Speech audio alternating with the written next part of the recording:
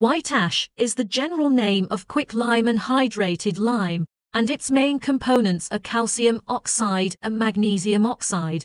White ash ball pressing machine can be powder powder, forced extrusion by ball pressing machine.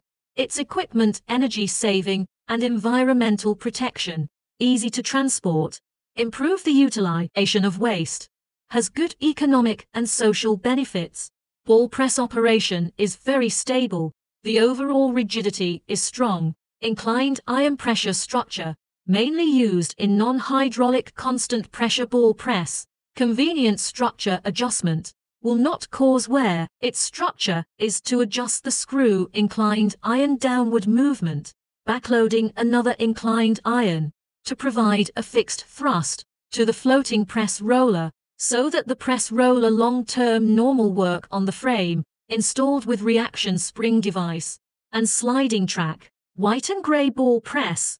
If the pressure is very large, the passive wheel on the track can be flexible telescopic to ensure that the mechanical parts will not be damaged, to ensure the normal operation of mechanical equipment.